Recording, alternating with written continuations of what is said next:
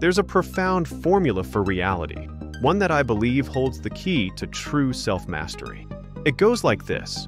0 equals 1 equals infinity. It's my formula for reality. Think about zero, not as an absence, but as a space of pure potential. It's the nothing that precedes everything. In self-mastery, this is where we begin. We often define ourselves by our achievements, our roles, our past. But beneath all that lies an untouched canvas, a vast nothingness within each of us. This is our essential self, unbounded by labels or limitations. And that nothing, that inherent emptiness, holds the capacity for infinite manifestation. This is the core of our power.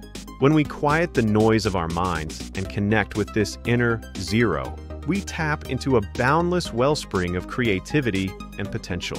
From this formless state, we can truly become anything we choose. How does nothing become everything? It's simple, yet profound. The formless intentions, the clear vision you cultivate within that inner space, begins to manifest as all form and phenomena in your life. From a fleeting thought to a grand aspiration, every external reality first takes shape in the invisible realm of your consciousness. Just as the universe bursts forth from an unseen origin, so too can your ideal life emerge from the clarity of your inner being.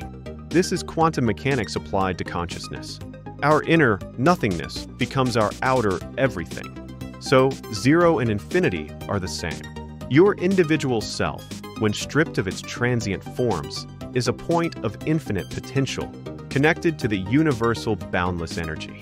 When you achieve self-mastery, you realize this oneness. You understand that you are not separate from the infinite possibilities of the universe. You are that infinite possibility. That's my formula for reality and for unlocking your ultimate potential.